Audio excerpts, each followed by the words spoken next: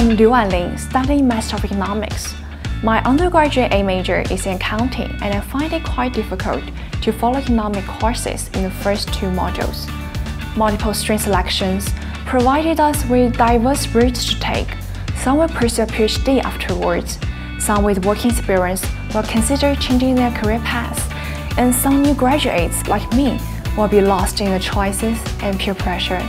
Luckily, my friend helped me out but when I connected with all these classmates from diverse backgrounds, I also struggled to make up my mind and choose my own path.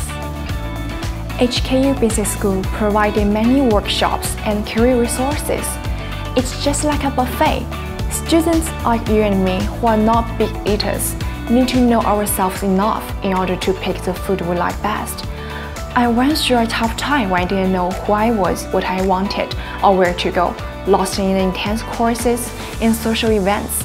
However, I have to say, without the tough lost time, I may have never questioned myself so deeply and found the real me and my motivation.